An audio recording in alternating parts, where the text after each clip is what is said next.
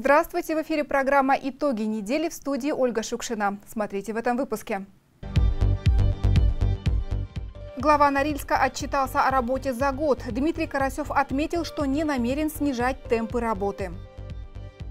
В соцсетях и мессенджерах активизировались вербовщики и провокаторы. Полицейские предупреждают, такое общение крайне опасно.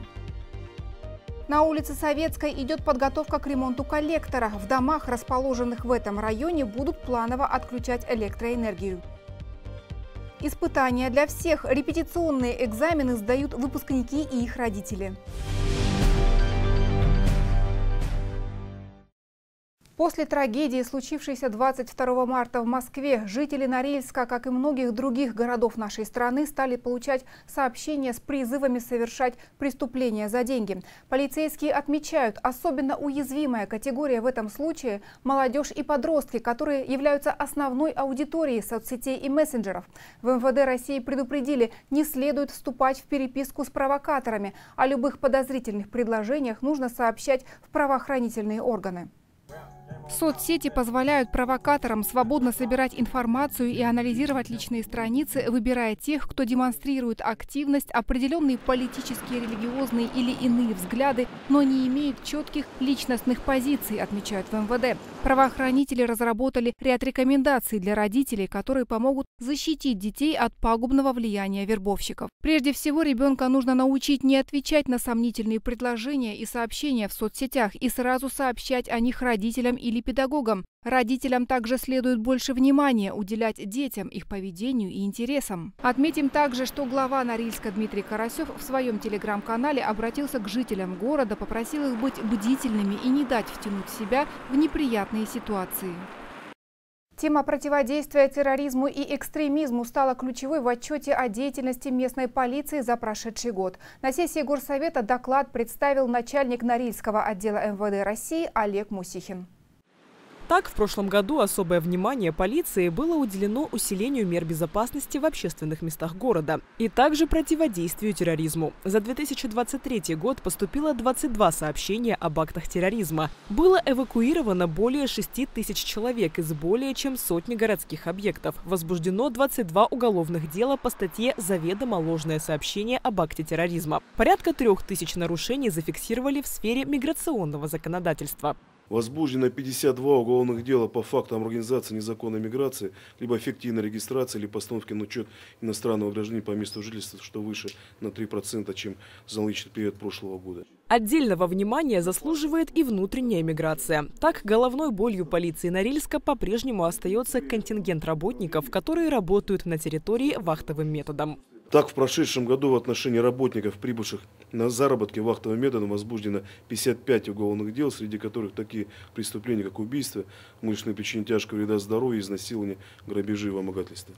Всего за 2023 год сотрудниками полиции было раскрыто и расследовано 1142 преступления. К уголовной ответственности привлечены 674 человека. Уровень преступности в Норильске ниже, чем средний по Красноярскому краю. На 10 тысяч человек приходится 116 преступлений. Кроме того, норильчане по-прежнему попадаются на удочку мошенников в сфере IT. Количество таких преступлений увеличилось на 30%. По статистике, чаще всего жертвами становятся трудоустроенные мужчины в возрасте от 39 до 42 лет. Надежда Балдакова, Никита Левинец. Итоги недели. Норильские полицейские провели плановый рейд по соблюдению требований миграционного законодательства среди рабочих на строительных объектах города. Проверяли транспортные средства, перевозившие рабочих на стройплощадке. В результате задержали и доставили в участок 28 иностранных граждан. После проверки по информационным и дактилоскопическим учетам, а также на причастность к совершению правонарушений и преступлений оказалось, что пятеро рабочих нарушают правила пребывания в России. За это они заплатят штраф – 40 тысяч рублей. А еще шестеро задержанных незаконно въехали в страну и работали без российского гражданства. Эти нарушители будут депортированы из страны. Кроме вопросов безопасности, в Норильске на сессии Горсовета депутаты рассмотрели целый ряд вопросов, касающихся всех сфер жизни города. Сессия началась не так, как обычно. В этот раз не кто-то отчитывался главе города, а градоначальник представил отчет о проделанной работе за прошлый год. 12 месяцев 2023 года действительно были знаковыми для Норильска. Город отметил свой юбилей. Аэропорт Алыкель обрел статус международного. Начато строительство стелы «Город трудовой доблести». Вовсю продолжается реализация комплексного плана социально-экономического развития, возведение нового жилого фонда и социальных объектов, ремонт коллекторного хозяйства и дорог, благоустройство территорий. Глава города Дмитрий Карасев отметил, заданный темп снижать никто не намерен. Так, одна из приоритетных задач текущего года – обеспечение городской безопасности, в том числе через работу комплексной системы видеонаблюдения В перспективе наполнить эту систему э, более 3000 э, видеопотоков. Тем самым мы сможем с вами контролировать и предупреждать, и профилактировать различные правонарушения на территории города Норильска.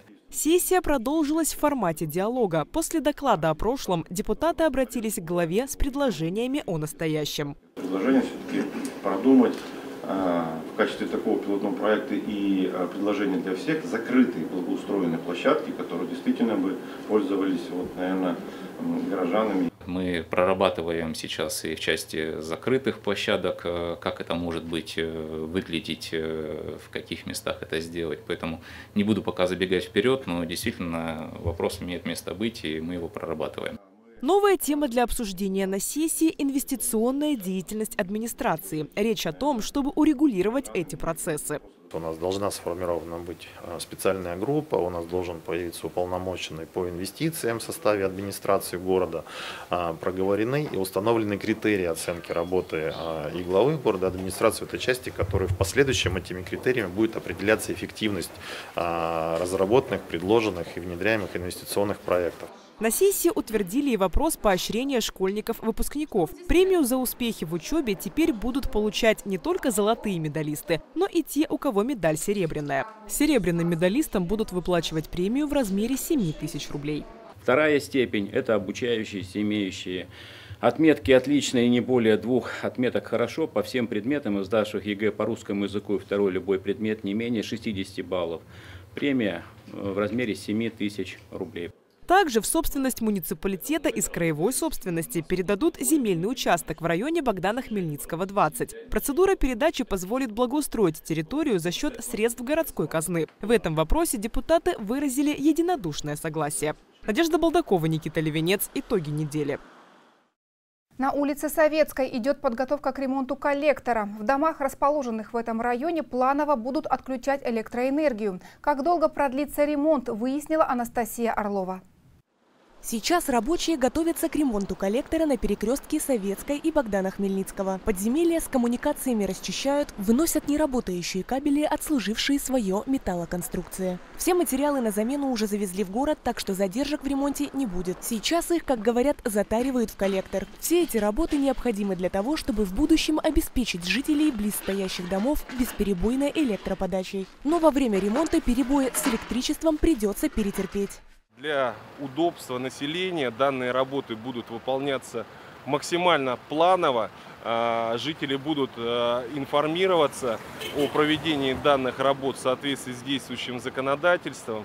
Вся информация будет э, размещаться и в виде объявлений, и в социальных сетях, и на официальном э, сайте э, предприятия МУККОС. Всего в течение трех лет по программе реформирования и модернизации жилищно-коммунального хозяйства и повышения энергетической эффективности, помимо коллекторного хозяйства заменят подводящие кабельные линии к 20 трансформаторным подстанциям заменят более 30 километров кабеля. В ремонтах задействованы все подрядные организации, отвечающие за электроэнергию Норильска. Начали с сердца города. Это пересечение Московской, Советской, Ленинского и Кирова. Здесь наибольшее количество кабельных ниток, а, различных линий связи, что накладывает ну, значительные трудности. Стесненное помещение и большой объем перекладывания, ну, перекладки продукции. Поэтому привлечена, скажем так, наверное, одна из самых опытных а, подрядных организаций в нашем городе. Ну, мы считаем, что все будет выполнено требуемым качеством нужные сроки. Завершить конкретно этот коллектор планируют к сентябрю текущего года. Сама программа рассчитана до 2025 года включительно. На все потратят около 300 миллионов рублей. Следующее коллекторное хозяйство в списке на ремонт на Ленинском от арены до 24 дома. Анастасия Орлова, Екатерина Алексеева, Евгений Журнов. Итоги недели. В Норильске начался сезон вывоза скопившегося снега. Теперь дворы не просто расчищают от заносов после метели или снегопада, а счищают утоптанный снег до самого асфальта. Весной управляющие компании города приступают к новому этапу уборки дворовых территорий. Если всю зиму они просто расчищали дороги и тротуары, чтобы пешеходы и машины могли свободно передвигаться, то сейчас снег убирают подчистую, срезая его до асфальта. На этих работах в городе трудится 58 единиц снегоуборочной техники. Сначала накопленную и плотно утрамбованную снежную массу вскрывают, затем собирают и после вывозят со двора. Убирать раздробленный снежный наст по закону должны не позднее, чем через 10 дней после того, как его срезали. Эти работы будут вестись в городе еще два месяца. Уборке территорий от снега по-прежнему мешают машины, стоящие во дворах. Так называемые подснежники, если владелец не установлен, вывозят на свалки. А транспорт, оставленный, но по документам не брошенный хозяином во время расчистки дворов, традиционно для Норильска обрезают и оставляют стоять на снежных пьедесталах. На данный момент из Норильска, Талнаха и Каиркана вывезли почти половину всего снега, выпавшего и утрамбовавшегося за зиму. Наша задача, мы контролируем, чтобы управляющие компании в полном объеме выполнили свои договорные обязательства. Управлением городского хозяйства ведется контроль такой. Два раза в неделю специалисты выезжают на территорию, отсматривают, фиксируют и отрабатывают с управляющими компаниями. На данный момент пока, назовем так, отстающих нету. Все идут в рамках графиков. Да, есть где-то территории, куда еще управляющие компании, скажем так, срезку сделали, но еще не зашли с вывозом. Но мы эти территории держим на контроле, они обязательно туда зайдут. На ТЭЦ-2 ремонтируют два котла – водогрейный и энергетический. Именно эти агрегаты обеспечивают теплом и светом жителей Талнаха и близлежащие предприятия Норникеля. Наша съемочная группа отправилась на предприятие, чтобы увидеть, как выполняют такие работы. На ваших экранах уникальные кадры. Это водяной экономайзер, часть энергетического котла на ТЭЦ-2. Когда котел работает, по трубам экономайзера идет вода. Протяженность железных артерий 22 километра. Все пространство вокруг труб заполняют горящим газом. Жидкость нагревается и превращается в пар, который в дальнейшем поступает на турбогенератор, где происходит выработка электроэнергии. Сам котел огромен, размером с девятиэтажный дом. Ему уже почти полвека. В прошлый раз замена его конвективной части была в 2013 году. Сейчас тут заменят каждую трубу. На сегодняшний день происходит подготовительная работа. Это установка лесов, снятие изоляции, обшивы котла-агрегата, а, подготовка к демонтажным работам, энергоснабжение города Норильска, район Толнах и предприятие ЗФ Э, дублируются другими котлоагрегатами, которые в данный момент находятся в работе. Последующий их ремонт запланирован после окончания. Параллельно на ТЭЦ-2 ремонтируют один из двух водогрейных котлов. От него по трубам в квартиры Толнаха поступает тепло и горячая вода. На этом объекте также устанавливают леса и снимают изоляцию. В этом году полностью заменят все поверхности нагрева котла-агрегата и отремонтируют вспомогательное оборудование. Следующим этапом будет непосредственно это э, уже подготовка к монтажу, это входной контроль, который мы дополнительно сейчас производим входящего оборудования, и уже его монтаж непосредственно на месте. То есть демонтажная работа всегда отнимает чуть меньше времени, чем монтажная. Материалы и оборудование для ремонта котлов привезены еще в прошлом году в навигацию. Эти работы по графику должны завершить в текущем году. После на ремонты по очереди поставят еще шесть энергетических котлов и один водогрейный. Екатерина Алексеева, Николай Букала. Итоги недели. В контрольно-аналитическом управлении заполярного филиала Норникеля проходит замена устаревших лабораторных агрегатов на новые. Почему это важно для всех норильчан, расскажет наш корреспондент. В лабораторных помещениях кипит работа. Контрольно-аналитическое управление ведет в Норильске беспрерывный мониторинг окружающей среды – воды, воздуха, почвы, а также занимается анализом состава продуктов горно-обогатительного и металлургического производства заполярного филиала Норникеля. Среди множества пробирок, наполненных различными химическими растворами, особенно важна безопасность, а также точность и скорость получения результатов количественного химического анализа. Контрольно-аналитическом управлении определяют концентрацию примесей в пробах, к примеру, геологических объектов. Новое оборудование поспособствует улучшению точностных характеристик и количественного химического анализа. Сейчас в испытательном аналитическом центре балансовых продуктов и геологических объектов контрольно-аналитического управления проходит масштабное переоснащение современным оборудованием. Уже обновили вытяжные химические шкафы, лабораторные столы и тумбы, шкафы для хранения посуды и реактивов, муфельные печи. Новая лабораторная мебель устойчива к воздействию агрессивных химических составов. Причем все оборудование отечественное, сделано в Санкт-Петербурге. У нас э, происходит обновление мебели в аналитических комнатах. Э, э, в этом году запланировано переоборудовать 11 аналитических комнат. В прошлом году было переоборудовано 5 аналитических комнат. Эта закупка произошла российской отечественной мебели. Всего в контрольно-аналитическом управлении установят более 200 единиц нового оборудования. Помимо этого, в здании в ближайшее время закончат замену всех коммуникаций и завершат косметический ремонт. Масштабная модернизация повысит производительность управления и выведет на новый уровень безопасность работы персонала. Сотрудники контрольно-аналитического управления отмечают, что особенно приятно получить новое лабораторное оборудование в преддверии 85 25-летнего юбилея предприятия. Напомним, контрольно-аналитическое управление ведет отчет своей работы с 8 мая 1939 года. Дарья Каменских, Александр Вори. Итоги недели. В понедельник, 1 апреля, в Красноярском крае стартует кампания по записи детей в первый класс. В Норильске заявления уже принимают. Многие родители будущих первоклассников оформляют документы дистанционно через портал госуслуги. Мест за школьной партой хватит всем, уверяют в Министерстве образования края. До 30 июня заявления принимают от семей, которые проживают на закрепленной за школой территории – и тех, кто хочет попасть в ту же школу, где учатся братья или сестры первоклассника. С 6 июля заявление могут подать те, кто хочет попасть в определенную школу и не живет на ее территории. Заявление можно подать лично или с помощью портала госуслуги. По предварительным данным, в этом году в Красноярском крае будет почти 42 тысячи первоклассников. Норильские школьники готовятся к сдаче экзаменов. Ученики девятых классов сдали пробный общий государственный экзамен по математике. В репетиционном испытании приняли участие 2300 учащихся. Пробный экзамен проводится с учетом всех требований и правил, установленных для основного экзамена. Продолжительность работы 4 часа, не считая времени на заполнение регистрационной части задания.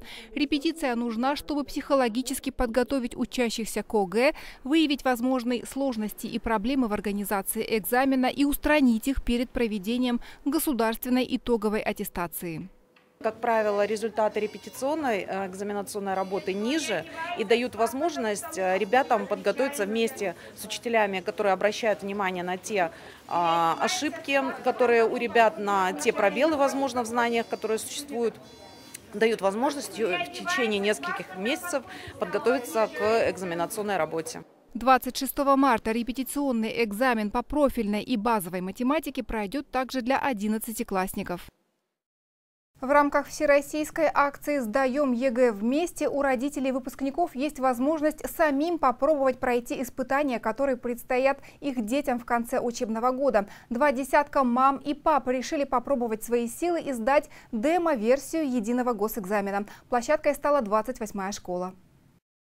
Ход основной части мероприятия был максимально приближен к реальной процедуре проведения единого госэкзамена. Родители смогли на себе испытать все этапы проведения экзамена. Проход в пункт проведения экзамена, регистрацию участников ЕГЭ, рассадку по местам в аудиториях, инструктаж и печать контрольно-измерительных материалов в аудитории. Демонстрационный экзамен представлен в виде упрощенного варианта традиционного ЕГЭ. В этот раз родители писали экзамен по истории истории. Это сокращенный вариант. Контрольно-измерительные материалы присланы нам из Министерства образования Красноярского края, поэтому во всем Красноярском крае родители сдают экзамены по упрощенной версии. Будут выданы ответы, и у семьи будет возможность посмотреть задание и проанализировать ответ. В Норильске акция «Сдаем ЕГЭ вместе» проходит в седьмой раз. Площадкой в этом году стала 28-я школа, в которой в прошлом году мамы и папы сдавали демонстрационный экзамен по русскому языку. На несколько часов поменяться местами с детьми и пройти всю процедуру экзаменации рискнули два десятка норильчан. Студенты Заполярного госуниверситета побывали в лабораториях контрольно-аналитического управления Заполярного филиала Норникеля, расположенного на площадке Надеждинского металлургического завода. Там измеряют содержание элементов в балансовых продуктах и анализируют готовую продукцию на содержание примесей. Студентам рассказали о работе лабораторий, оборудовании, а также возможности в будущем присоединиться к команде специалистов управления.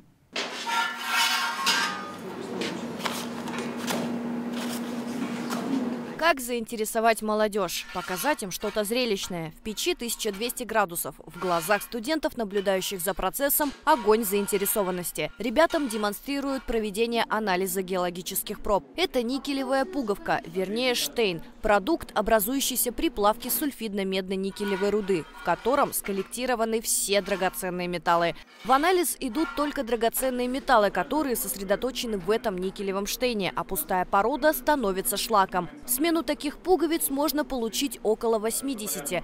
Для студентов ЗГУ регулярно организуются экскурсии на предприятия Норникеля, деятельность которых непосредственно связана с основными направлениями профессиональной подготовки вуза – добычей, обогащением и металлургией. Такие экскурсии – уникальная возможность познакомиться с компанией изнутри и выбрать работу мечты.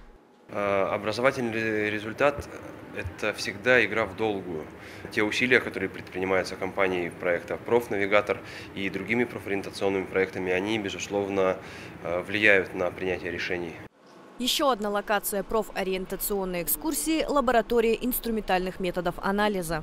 Сюда проба попадает в виде раствора из колбы ее переливают в пробирку. Далее через трубочку, напоминающую медицинскую капельницу, проба попадает в плазму спектрометра. Там происходит ионизация и считывание интенсивности излучения пробы. А уже в специальной программе лаборант совершает аналитику полученных данных. Все это завораживает и вовлекает в будущую профессию. Так как я проходила практику на ТОФИ, некоторые слова мне известные, то есть там посмотреть на медную стружку, посмотреть на тигели, где потом появляется вот такая монетка металла. Я старалась э, запечатлеть э, себе на камеру все самые интересные моменты, все колбочки. Э, мы шутили с одногруппниками, что это тархун, фанта, колокольчик.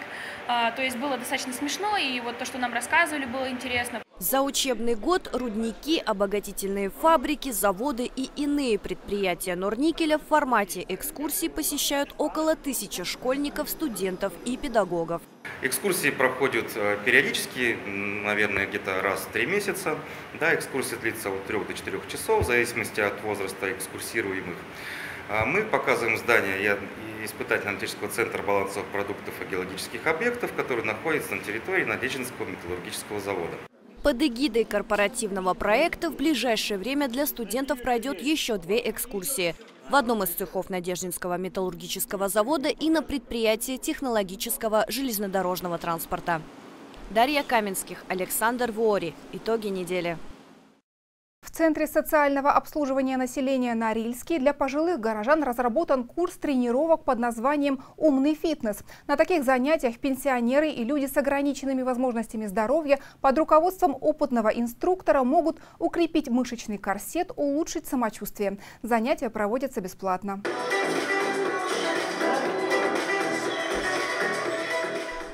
Вместе заниматься и веселей, и продуктивней. Супруги Ольга и Юрий Гуляевы ходят на занятия по умному фитнесу уже не первый год. Ольга делится. До занятий замучил остеохондроз, спина очень болела.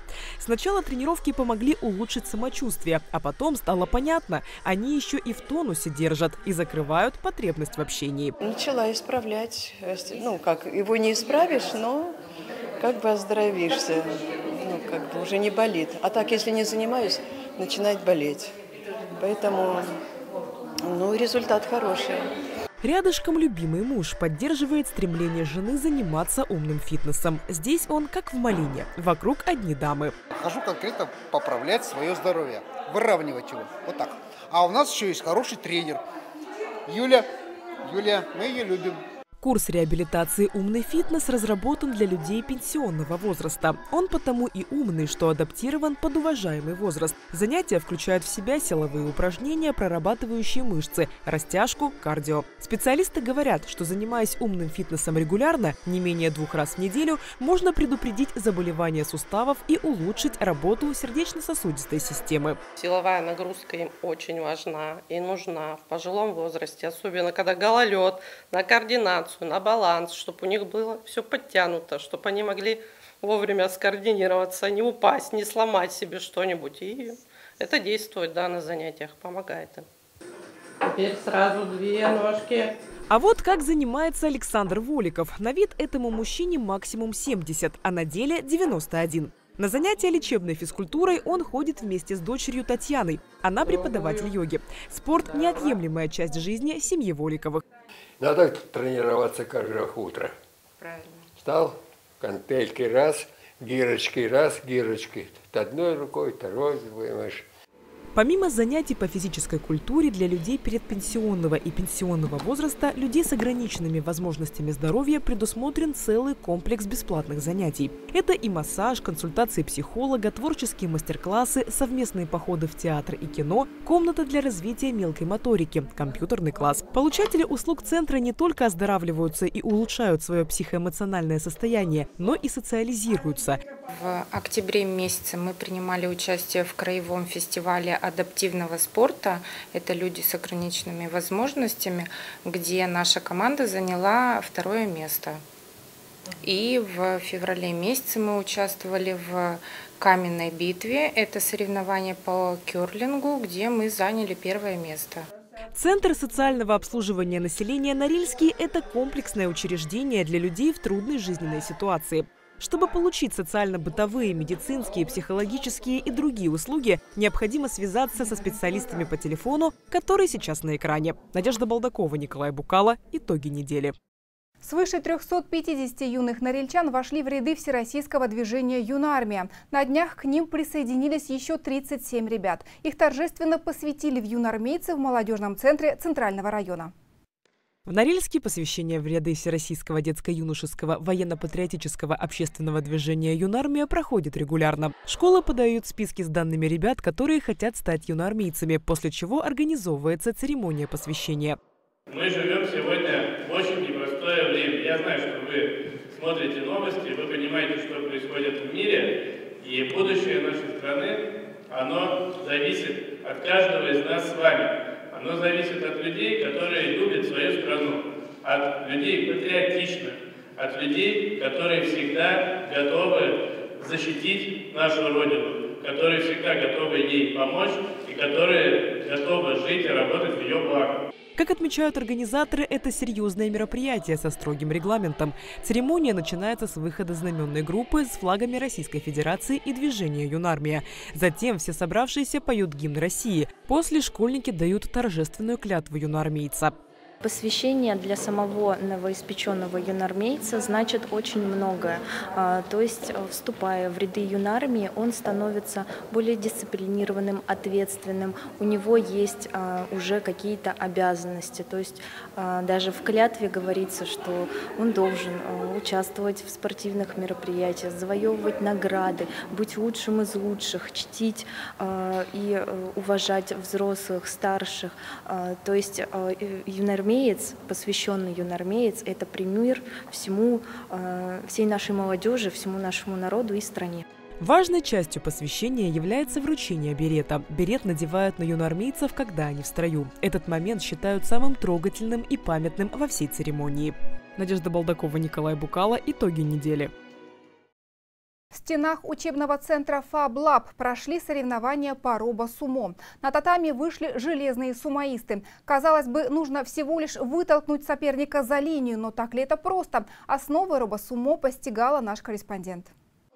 Юные конструкторы и любители роботов собрались на традиционном турнире по робосумо. Участники полны энтузиазма. Начались соревнования с битвы роботов, которых смастерили младшие участники, ребята с первых по третьи классы. Они занимаются робототехникой больше года. Роботов уже собирают довольно быстро. Эта команда потерпела поражение, но говорят, это не последняя их битва. Сначала мы первый день пришли, вместе собрали робота. Э, потом Василиса ходила пару дней, там робота усовершенствовала программу. Конечно, хотелось бы первое место, Веселые. ну ладно. Веселые. Да. Участники постарше – ребята из команды «Сильные сумаисты». Говорят, главное добиться, чтобы робот хорошо двигался. И добиться этого непросто. Прежде всего установить датчик цвета, чтобы он мог передвигаться. Да, потому что часто, часто были проблемы. Мне кажется, больше и, было, и очень сложно было именно правильно подобрать нужную схему для установки. Правила робо-сумо просты. Задача каждого – вытолкнуть соперника за черную линию на татами. Управляет сражением человек, но все же в устройство заранее вшиты соответствующие боевые программы. Двух одинаковых роботов нет, а вот количество деталей у всех равное. 55 участников заявлено, 34 команды должны быть представлены. Возраст участников, у нас три э, категории заявлено, 7-9 лет, 10-12 э, и 13-16 лет. Количество деталей мы сейчас собираем базовый, только у нас представлены роботы из базовых наборов, чтобы у всех ребят были одинаковые условия. Э, мы это заявили в положении. А там количество 120 деталей. То есть в упорной и шумной борьбе победителями среди участников категории 7-9 лет стала команда «Робот Вихрь-31». Среди ребят в возрасте 10-12 лет победила команда «Русские бобры». В категории 13-16 лет победу одержала команда «Лидер». Дарья Каменских, Николай Букала. Итоги недели. На льду Дворца спорта «Арктика» прошло первенство города по фигурному катанию. В нем приняли участие 40 юных фигуристов из Норильска и Дудинки. Боролись за почетное место в сборной, которая будет представлять Норильск на краевых соревнованиях. Раскатка, скрежет льда и сияние костюмов. И вот он, прыжок. Прыжок в произвольной программе Дианы Чулановой смотрится эффектно. Девушка на коньках с трех с половиной лет. Сейчас ей 14. Она уже кандидат в мастера спорта. У такого звания своя цена. Два перелома правой руки и жесткий график. Две тренировки ежедневно. Но несмотря на все, Диана каждый раз перебарывает себя и выходит блистать на лед. На первенстве девушку поддерживают родители. Мама снимает выступление дочери на телефон. Все позади, программа выполнена. Теперь можно дать волю эмоциям в Kiss and Cry. Это зона для поцелуев и слез на катке, где фигуристы ждут объявления своих оценок после выступлений.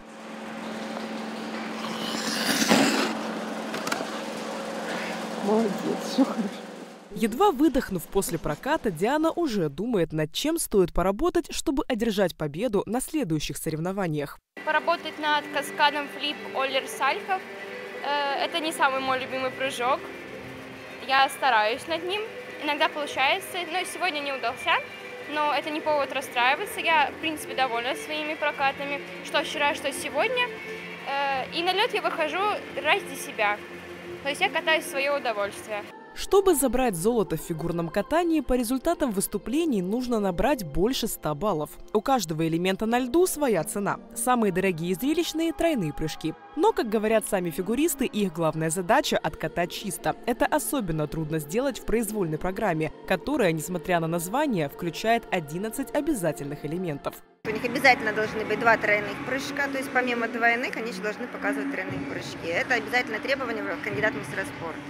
Ну и вращение, конечно, у нас есть уровни, начиная самый маленький, это базовый, самый высокий четвертый. Чем больше они накрутили, чем больше позиций показали, тем выше уровень получили. За звание лучших в городском первенстве выступили 40 спортсменов в возрасте от 10 до 16 лет. Главный приз этих соревнований – место в сборной команде Норильска, которая представит город на соревнованиях в Красноярске в середине апреля. Надежда Балдакова, Александр Вори. Итоги недели. Детская школа искусств выступила с отчетным концертом в Талнахском культурно-досуговом центре. Несколько часов коллективные и сольные номера на сцене сменяли друг друга. Зрители слушали классику, умилялись хору малышей, приплясывали под русские народные мотивы и смеялись над театрализованными выступлениями. Наша съемочная группа побывала на большом творческом празднике. «Свобода и танго» со сцены концертного зала в Талнахе звучит одно из самых известных произведений Астра Пьяцолы. Разве мог композитор подумать в далеком 74 году, создавая «Либертанго» в Милане, что спустя 50 лет ее будут исполнять на крайнем севере России, да еще и с таким мастерством?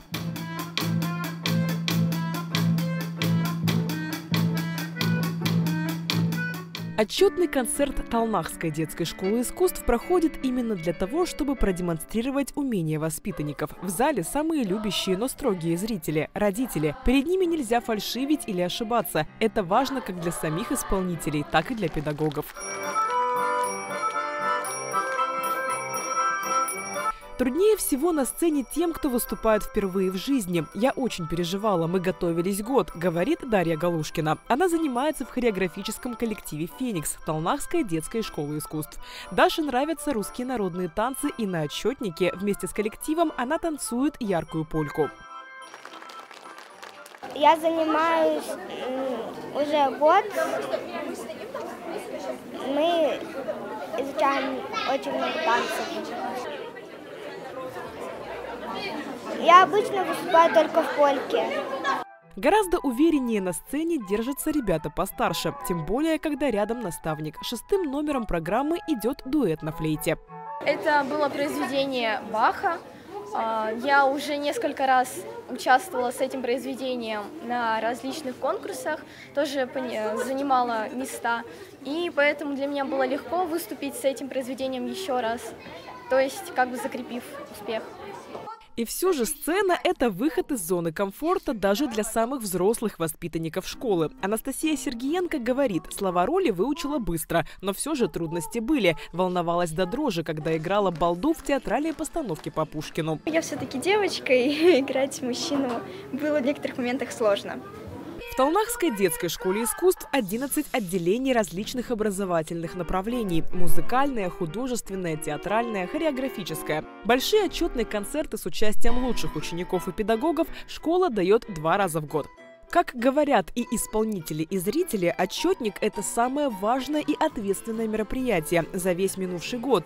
И одновременно это творческий праздник, от которого все получают удовольствие. Звездочки в небеса. Надежда Балдакова, Виктория Комиссарова и Николай Букала. Итоги недели.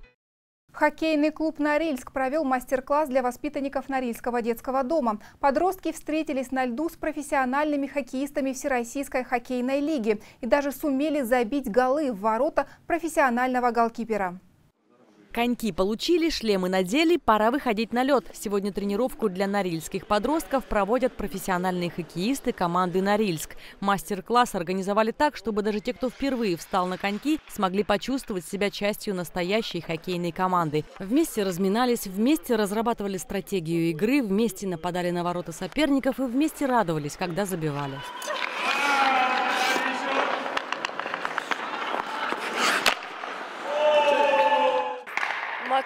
Меня научил кататься. Да, и сказал то, что у меня все получается, всяко поддержал, очень мило, очень круто. Если честно, ну, мне очень нравится. Первый раз хоккей играю, да и первый раз на хоккей пошла. Вот. С такой командой очень хорошо играется. Парни из Всероссийской хоккейной лиги с удовольствием учат детей кататься, ставить удары, метко посылать шайбу. Каждый из команды со всей ответственностью отнесся к этой тренировке. Вратарь Глеб Цупренко ради воспитанников детского дома даже вышел на лед в свой день рождения. Я думаю, всегда приятно, когда людям уделяют внимание и питаются какой-то энергией, радость.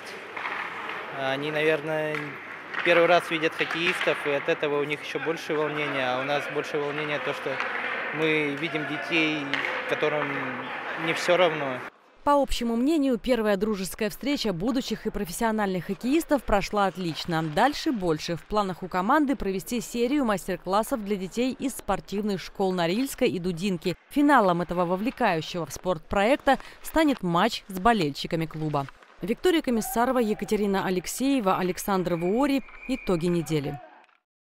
Больше месяца назад Норильск ТВ запустил проект «Дай лапу». Это цикл передач, в которых наши корреспонденты знакомят зрителей с постояльцами приютов для животных, кошками и собаками, ждущими, когда их заберут добрые и ответственные хозяева. В эфир вышло семь серий и уже есть результат. Несколько хвостов нашли себе дом. Знакомьтесь, это Ася. У нее есть имя, и теперь у нее есть любящий хозяин. Недавно мы снимали наш выпуск «Дай лапу» про 14 щенков, которых нашли на одной из промзон в жилом образовании АГНР. Теперь двое из них обрели свой дом.